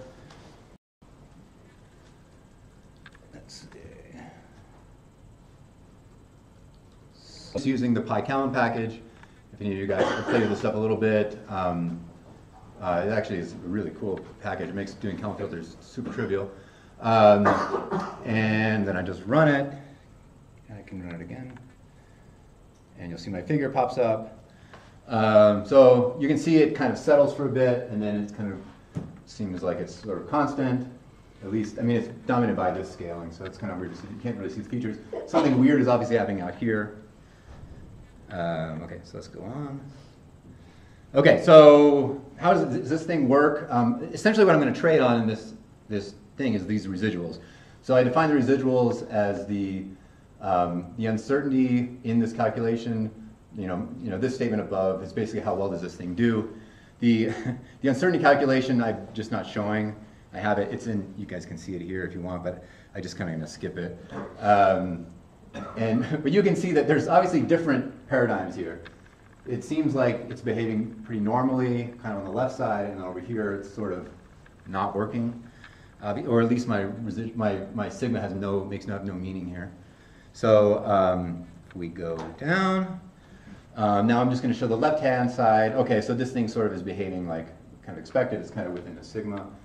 Um, and, um, and, you know, the stock is kind of going out. Um, obviously, it's just growing like crazy, right? Because it's Bitcoin. And so now you sort of see the problem, right? Like the scale changes so much. So obviously the noise, because I use a constant noise, um, they're obviously like different levels of noise. So these R and Q should have been kind of maybe you can make them scale with Bitcoin or something. I mean, maybe there's things one could do. I didn't do them. Um, and then let's just kind of because I'm, the whole idea of this is to kind of show us how some of this stuff works. Um, you'll see here. You can see this is actually the calculation of the uh, uh, what I use for the sigma calculation, but you can just embed LaTeX in org documents natively, and it just works. Um, so that's pretty cool. At least if you like LaTeX, not everybody does. Um, so yeah, so I guess we're just so here's kind of the stuff we've just gone through. This is the before. This here is the before part. This is just how I generated that plot. Yeah, you can obviously see there's some commented code out because I was playing with these things like not too, not even like that long ago. So anyway, um, so now um, let's just try to do. I wanted to do a simulation. So I guess kind of what I wanted to show is you can. It's easy to embed actual source code um, uh, into these if you generate documentation out of this. So so that's kind of a cool aspect. So if you get this spike, that's kind of what we're looking for. We were like we're hoping that GBTC starts to really plummet, and then we buy some and then once it kind of stabilizes, we get out of it. I guess that's the kind of was the hope of this sort of idea. Sort of seems to work. I don't know what's going on over here. Um, so, so let's just kind of go down to the org document a little more. Um, here's my little simulation. I can just rerun it. Um, and then if I go down a little farther, so this is actually the slide I turned into that slide. And then um, plot this figure of it. And, um, and that becomes the slide here. And so here's kind of our entry points and exit points. I meant to mark uh, those, but I kind of forgot. Yellow is we're getting out, we're selling. Blue is we're buying. This is kind of our net worth. Um, you know, obviously it's just noise. Um, but I mean, we got we we left with one share, so we were up but uh, I mean, so um, uh, yeah. Okay, so that's a toy. Uh, like I said, I, I, literally copied another analysis and tried to apply, apply it to this. It didn't work great, but um, it was still kind of interesting. So what I'm trying to sort of make a case for ob-ipython, I, I mean, I, I know a lot of people like Python notebooks, and I've used them. I think that they, they were super cool. We already saw two of them tonight. But um, so for me, it's really hard to write code in a web browser. And those are the two things that kill me for Python notebooks. And, um, and the second thing is it just doesn't work well with source control, at least for me. Uh, maybe you guys have tricks. But, um, but, but anyway, but so if you're using org documents, you kind of get a lot of those strengths with Lisp functions. I don't think there are any like that are come stock, but I mean, I don't know. One, I'm sure obviously people can write anything in Lisp. But um, you know, there's lots of weird boilerplate. So, uh, LaTeX, you know, yeah, I'm the only person at my company that has any interest in it. so, uh, so that's, you know, kind of how it is. Um, anyway, that, that's basically all the material. Um, if you are interested in any of this stuff, um, I'm going to put this on GitHub, just this single page, and one like like requirements.txt file if you want to like include all the projects, the Python libraries I use for this. But um, so here's some stuff on org. This right here, this YouTube talk is by the guy who wrote org. He was like a, a German astrophysicist with way too much time in his hands, and um, it's a good talk. so I, uh, I, highly recommend that. And uh, here's just the basic Babel documentation. If you're going to use ob-ipython, that's the only information that's out there. I use a lot of Beamer. This is actually the first time I ever used Beamer. It's, it's hilarious. And then if you are only interested in this in terms of the uh, analysis I did, if you go to this website, you'll see like all the same figures. I mean, I totally stole it. So uh, that's, that's that. So anyway, that's all I have. If you guys have any questions, I don't know. I, oh yeah, yeah. So that boilerplate, are you copying and pasting that for each cell?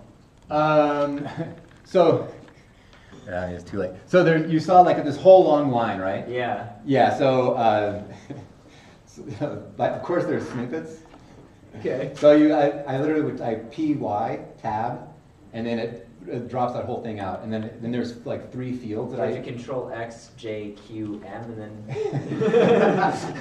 fair, it's fair, but no. Oh, okay. yeah, yeah. So I would type. I should do. I should have done. I would type py tab, and then there's like three other fields, and you can like tab through and sort of fill them out. So it makes that kind of easy. But yeah, it's it's not as nice as like just like that. It's one of the weaknesses. And then if you saw the top of that document, there's like 200 parameters that did, and none of that's really needed. That was just for the Beamer export, and that will also be generated automatically for you if you like as well. But um, but yeah, those lines are like. I, I can tell you what everything means in that line too. It's a little hilarious, but uh, that's that's some of the weaknesses. There. So, cool. Any more? More talks, Dylan? Oh, thanks, Jeff. Oh, yeah, Dylan's talking. Okay. Let's go.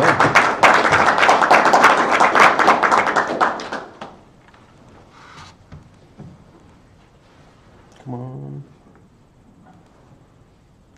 Heaps of data.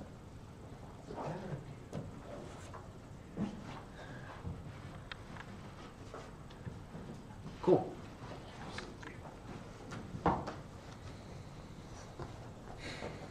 Okay, so my presentation is on processing on heaps of data. Um, my name is Dylan Gregerson. Um, I have a cat. I like boating, I like skiing, I like vegan food. And I'm also the lead data scientist at Teem, where Ferris also works. Gross. and um, our like mission goal in, in the world is to improve the workplace experience. What does that mean? Um, so one of the primary ways that we help is we help schedule uh, conference rooms. So like this room has somebody who schedules it. Um, and there's a whole person who has a spreadsheet that says, oh, this person has it on this day. Well, what we do is we turn that into a tool, a software tool that Ferris helps maintain. And um, that tool allows everybody in an organization to uh, collaboratively book a space and creates an independent person that says, this is who has it. Um, what that means for my team is that we have a stream of event data. So we have events that happen inside of conference rooms, and then we're analyzing that event and providing insights so we can tell somebody, such as like, how often is a particular meeting space used? Could you deprecate a space and use it for other purposes, reallocate it? Um, it's kind of hard. Oh, it's way hard. It's kind of blurry. Uh, this would be like an example of some event data. Uh, we have an ID, uh, a title, um, start and end time. There's attendees, including Ferris and me. I didn't accept that. um, and so, sort of the when I first started building the pipeline to get the data, um, this is about three years ago. We were trying to think about how do you do this for millions of events, um, tens of millions, billions of events across thousands of rooms. So how are we going to uh, process all of this data? So this is a kind of common problem in big data. You have a heap of files. Either they're stored like on something like S3, or you might have a big queue or an actual stream with something like a, a queuing system that goes in. And then you want to process all that event and store your results. And so in this case, um, I'm describing, well, I'm describing here, I'm pointing out that what the, the goal that we're getting to is that you're going to have a process that's going to work on each of these events. Um, the event data in, in this particular use case is independent data, so like my event, one event does not depend on the other, so I should be able to process them independently. So the point of this talk, the point of this talk is that I recently revisited all my code that I wrote a while ago, um, and that has worked well up to this point. Um, and that how to what's the what are the next steps for scaling it out um, over more and more data. Um, some of the main takeaways I think are important are these that Python is good for multiprocessing. You can scale to help as your data scales if you scale horizontally as well as uh, vertically within a machine across more cores. Um, and then I have a little discussion at the end about best practices for implementing multiprocessing.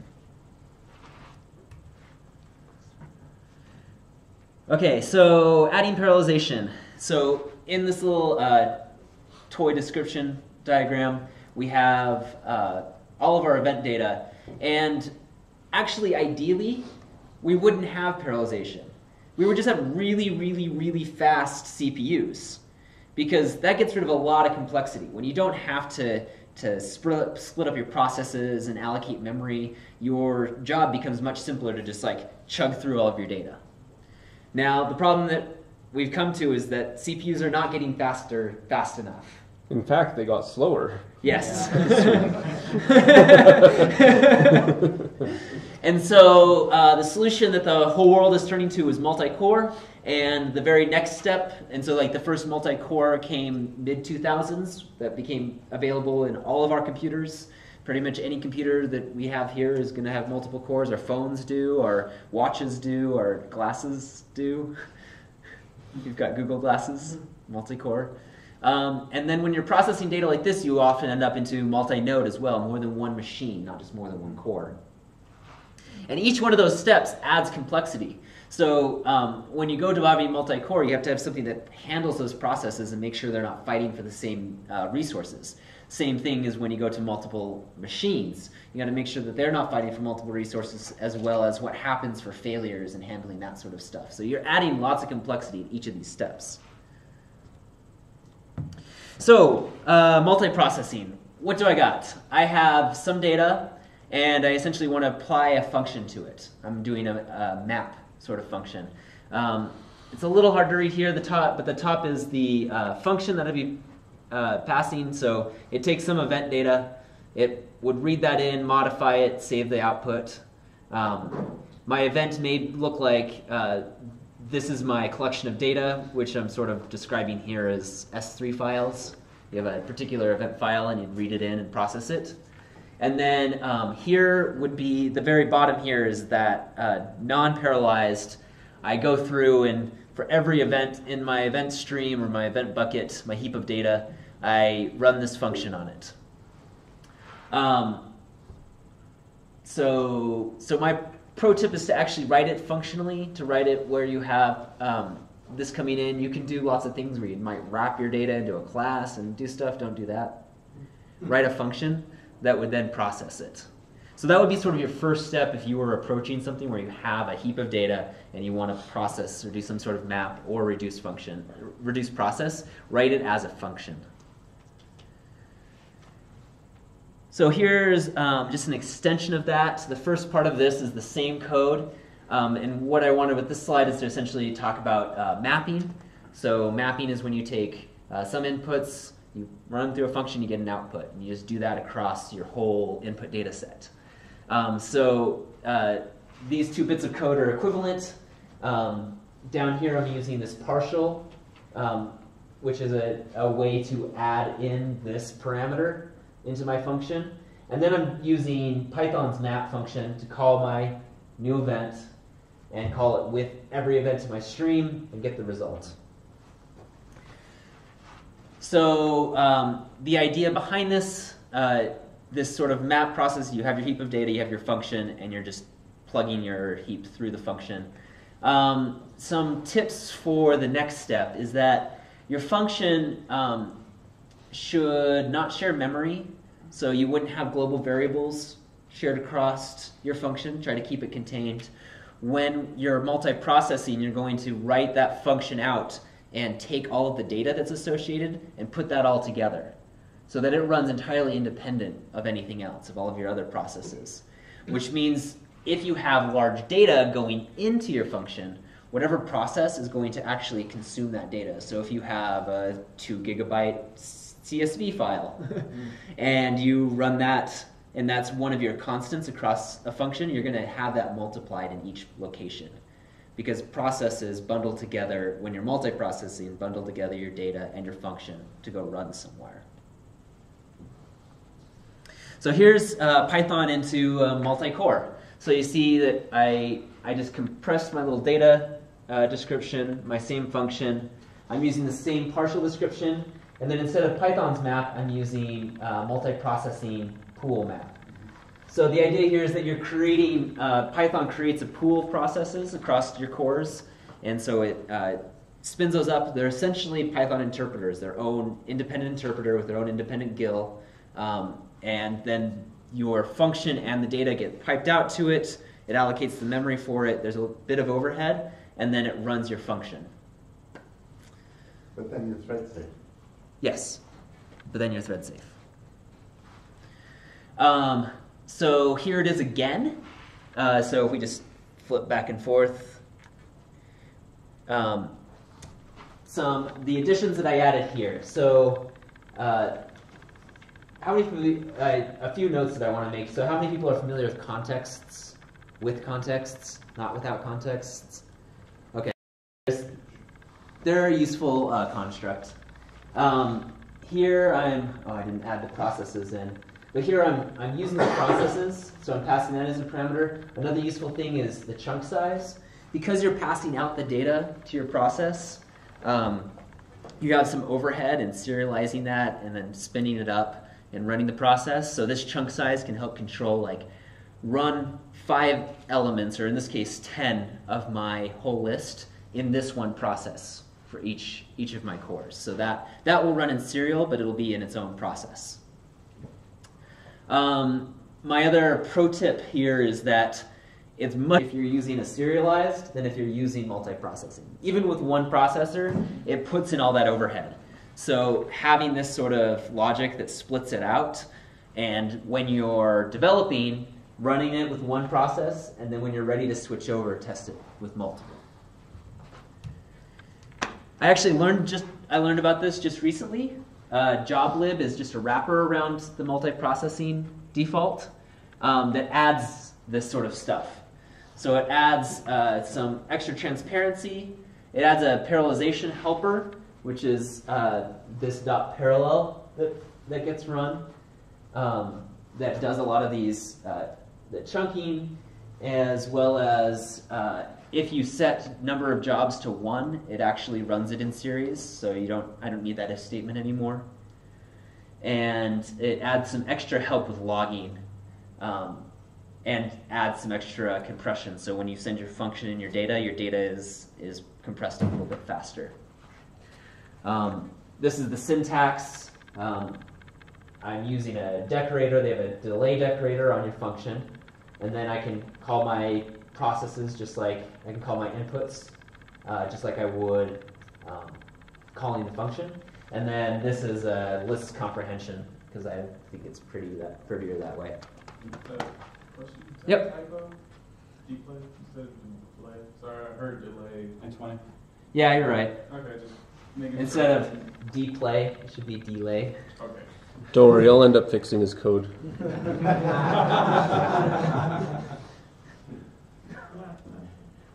Okay, so um, that's sort of where um, where I've ended up with a single node.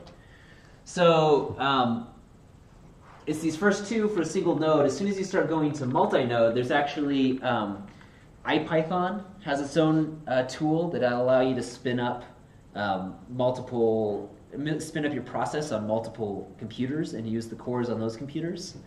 And then you start to get into um, bigger scale uh, products like Kafka, which is its own project in of itself with a wrapper for Python.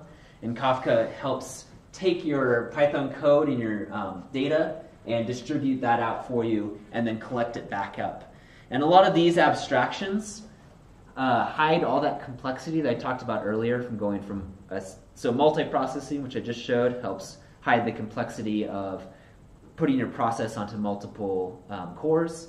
These help hide your help hide all the complexity of putting it out onto multiple machines, and these also will help uh, for failsafe if a machine goes down, um, how to handle what do you do with that data if something's not processed, and so all those things start to get bundled up, but the same concept actually applies. You have a heap of data, you have your function that you want to run, and then you just use one of these tools to do a map uh, type function on your data. So I, I uh, learned a lot. I took a lot of the some of the ideas I put into here from this uh, from Andrew Montalenti's talk. Um, he works at Parse.ly, where they're doing a lot of this uh, processing, where they're essentially mapping and processing URLs. And they have a function, and you have all your data, and they're using these same sort of tools to scale uh, Python out to thousands and thousands, literally thousands of cores. So some of my pro tips and best practices that I've kind of put together from this. Uh, use, for, use simple functions and make sure that all of your inputs are serializable. So no open sockets, no um, open files, things like that. Uh, you'll get you'll get shut down hard for it, and that'll be a source of pain with uh, errors. But that's how you should think about coding these. You want to avoid share state, so your processes should not know about the, the memory or share um, memory functions with other memory objects with other processes. Um, adding logging should be done to each process separately and then joined together later the uh, run in a single process for debugging, and then think be a little bit aware when when you're writing these processes out, that memory is going to um, grow, and so that's sort of one of the downsides. You get to use lots of machines at the same time, but you're using a lot more of those memory allocations because you can't store the same thing in memory for both times. That's so that's the end of my talk. Um, but I did want to like open anyone wants to talk about that more talk about if anybody had any extra comments for tips. I ran into, I was uh, trying to speed up a program that I have that is basically going off and pulling JSON objects off a web server. And I was doing it serially, and it was obviously taking forever to right. do it. And I ran across a slide in a presentation that had the map and pool, and I, my, you know, the literal yeah. head exploding. Um, but for some reason, whatever, using the, the multiprocessing module and using Pickle, I think, to do the serialization, mm-hmm. it was barfing on some of the aspects of the, the program that I was using. And people knew about it on, on, uh, mm-hmm. on whatever. And they suggested using multiprocess, which uses dill to do the serialization instead, and that solved all my problems. And it was able, I was getting like a three, three times speed up mm-hmm. doing that. So I just think it's amazing. I, know, yeah. it's still still magic to me, but it's really, I was amazed. That's awesome. Cool. Yeah, uh, how do you know when it's done? Um, so, well, so what, what happens with uh, something like this map? Okay. Um, it has some, you have some definitive list mm-hmm. of your Well, that's your what I mean. inputs. Your bit list is very big. Right. You've got two alternatives here. You Mhm. can either look at the data that's coming out of the back end that you're storing in your pool, Mhm. your output pool, and you can start processing on it before it finishes. Or you explicitly have to wait for it to finish and run a QA step to make sure you've got everything. Mm-hmm. So my question is, can you do the both alternatives? Um, so in this in this particular case, uh, you might you would probably take some sort of batch Mhm. and run that batch, and and you know it's done because it actually this map is blocking. Okay. So while you gave it a full list, it'll run that in parallel, but this whole step will block Okay. until you're done, and so then you would know it's done with a batch. Um, if you had something more like a stream, you wouldn't want to use a batch like this. You'd have some sort of queue where to pull something off the queue, and your function would also delete it off the queue. And there are um, some of those, like the PyKafka, will handle that deleting the data. Like my my function ended successfully. It didn't raise an error, so I assume everything's right, and I'm just going to throw the data off my queue. Perfect. So Thank you. yeah. Um, I was kind of looking into multiprocessing and the threading Python module to kind of like get a speed boost for a Rails program. Did you also run into that type of, um, or did you kind of explore both of those libraries in deciding like how to proceed and which one would be better or which one like fits your use case a little bit better? Um, yes, uh, I, I have a little bit. Um, one of the tricks when you're looking between multiprocessing and multi-threading um, is that one, one of the big things is that threads threads share memory, but Python is bad with threads because of the GIL. Yeah. So when you have two process, the way that and the GIL is amazing. The GIL has lots of benefits to it, Um, and and that, but it doesn't want you for having shared memory to fight for that memory. And so it has a particular lock. One thread runs, releases the lock, or gets forced to, and then another process can run. So multi-threading won't necessarily give you a speed boost in that sense. Multi-threading is better. Threading is better for I/O-bound operations. So if you're writing a WebSocket, if you're waiting for network traffic, if you're writing out a large file, you might do that um, with a thread where you say, okay, here's my thread. I start it up, write a big file out to the system. While the system is actually writing that file, the thread says, I don't need the CPU anymore. And so it explicitly releases that so another thread can run. But um, for processes, if you're trying to do a big computation, you're probably CPU bound. So the processor itself is your limit. You're not waiting for a socket, you're waiting for input, you're not waiting for something. You're actually just running as fast as your CPU can go. And for that scenario, you want to use processes. And maybe that answers your question. Yeah. Cool. Yeah. But what is the advantage of using the pool and giving the basically the file is what if I'm understanding it correctly to all of the various nodes? Uh, even if you're doing a batch, um, you could use a queue and, and basically push it out to all the various ones, if that makes sense, and then, then it all gets done in a particular order. Like, what, what would the advantage of using the pool over that over a queue be for, for batch objects? Um, so the, the pool helps handle some of the, the spinning up and joining of, of processes. Oh, okay. So some of that you don't have to handle explicitly then. Yeah, yeah. Um, I, I believe you can still use a pool and a queue simultaneously. Oh, okay. So you create a, a queue uh, thread or a queue process that's out there holding stuff, and then you have your pool of workers, and you have maybe some leader that's pulling things off and throwing them out to their out to the different uh, Oh, so that's how it, the that's pool. To, to, to sort of bounce off this question, that's how it was, it's done. There is like a master thing that says like, all right, I'm, I'm finished now. I don't need to keep doing Yeah. that because I, in my mind, I'm like, well, wouldn't just do the whole thing and all the cores just duplicated?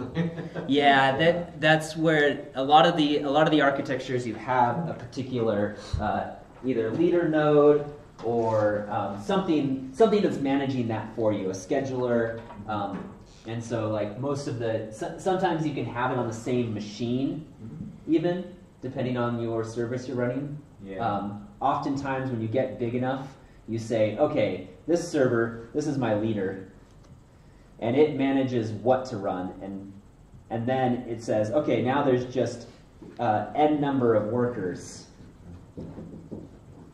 and it just throws that out there, throws it out there. If this machine dies, which happens when you're starting to run lots and lots of machines, mm-hmm. it says, oh, hey, like I gave it this, I gave it entry 100 to 552, uh-huh. and and it says, okay, this died, so ignore that. Now take that chunk and give it to this new one, or give it to one that's still existing. oh, that's and that's built into the to the the pool processing. So not from not for multi-processing because remember that what I'm oh. doing is still one node, one one core. But the packages like Kafka um, or Amazon's Firehose, Firehose does it under the hood. It's- Yeah. It's doing this sort of management for you.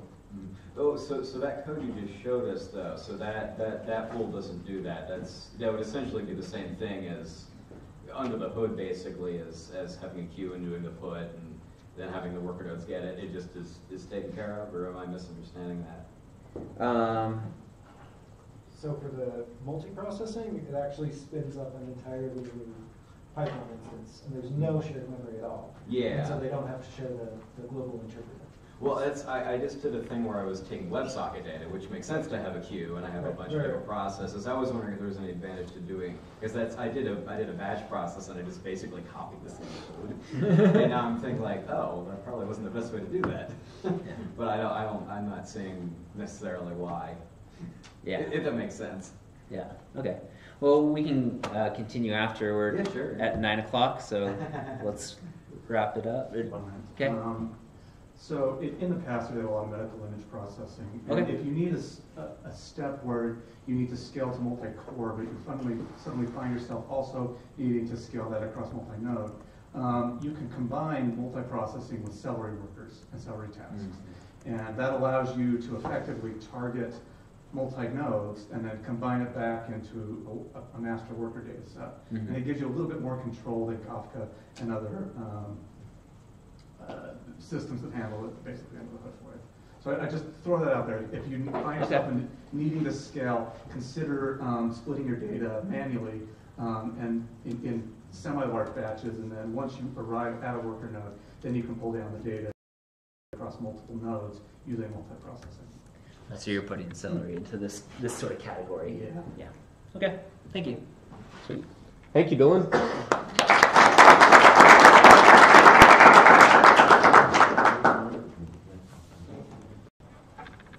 Whee. So I'm saving all the good prizes for February. Like finding some. You talked about a total on that Yeah. book. Uh, There's a, there's a wizard on that. There's only one though. There's going to be this book amongst other things at the February soiree. Okay. Yes, raffling. So this is our uh, our raffle prize for the day. While I'm pulling this up, oh, I guess my terminal disappeared. This is going to be tricky. I get to code without being able to look at my code. Come on. Can everybody see that? Okay, cool. I can't. So, um, a note about why I like to raffle off books. My first meetup I ever attended as a wee lad, um, when I was a student here, um, over 10 years ago, was the Linux user group, which always had the coolest name because it was Slug. um, the Salt Lake Linux user group, and they were in the engineering building, and somebody did talk about Ruby on Rails, and they had a little book about Ruby on Rails and how to code your own Ruby on Rails website, and somebody else won the raffle. And I was like, that's cool. Can I look at the book? And the guy's like, just have it. I use PHP. I'm like, okay. Um, so then I started coding it, and I got about halfway through the book, and I was like, why does this not handle numbers correctly? Oh, because it's Ruby. Um, so yeah, I switched over to Django just as Django had come out, and the rest is kind of history. So Django, Linux, and so yes, here is a Python book. It could be yours. It could be the one that you throw to some other person, and that person throws it away and switches back to Ruby. So there we go. Intro to machine learning with Python. Now, to make sure this works, does everybody have a number on their name tag?